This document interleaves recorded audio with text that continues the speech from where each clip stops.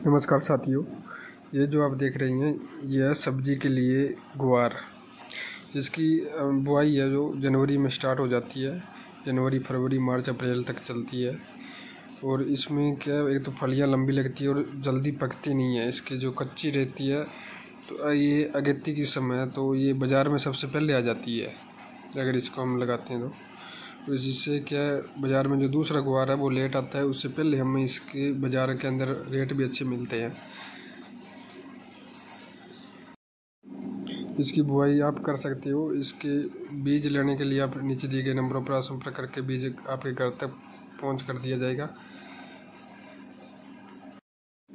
इसकी फलियों के लिए ये लगाई जाती हैं। और वैसे इसका सीड प्रोडक्शन नहीं होता। और सब्ज़ी की जो फलियाँ हैं, इसके लिए ही इसको लगाते हैं। जो साथी लगाना चाहते हैं तो वो दिए गए नंबरों पर संपर्क कर सकता है।